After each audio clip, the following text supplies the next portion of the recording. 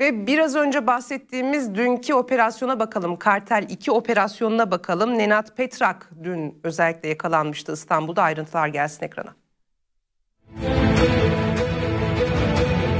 Yine kırmızı bültenli aranan biri yine Türkiye'de ortaya çıktı. Bu kez yakalanan Hırvat uyuşturucu baronu Nenat Petra. Operasyonu da İçişleri Bakanı Ali Yerlikaya sosyal medya hesabından duyurdu.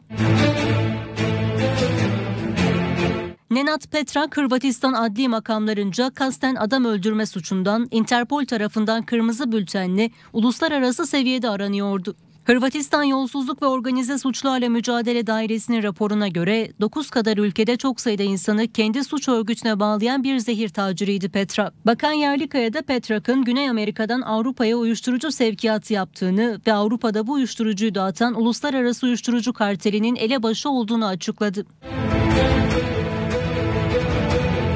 Petrak son dönemde suçluların Türkiye'yi mesken tutmasının son örneği. Son yıllarda ülkenin sokakları yabancı mafya hesaplaşmalarının arka planı haline geldi. Kırmızı bültenle aranan birçok suçlu özellikle İstanbul'da ortaya çıktı. Hatta aralarında Türk vatandaşlığı verilenler bile vardı.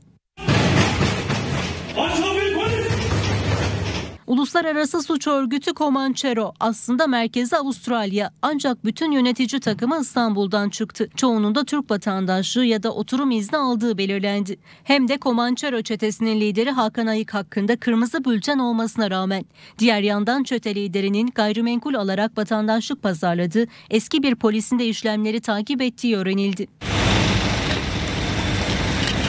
Yine kırmızı bültenle aranan başka bir suçlu Hollandalı uyuşturucu baronu Leydekers. Bu kez yakalanan Leydekers değildi. Ancak sağ kolu Karamamba lakaplı Isaac Bignan Isparta'da gözaltına alınıp tutuklandı. Bunlar sadece son örnekler. Daha pek çok kırmızı bültenle aranan suçlunun Türkiye'de ortaya çıktığı biliniyor.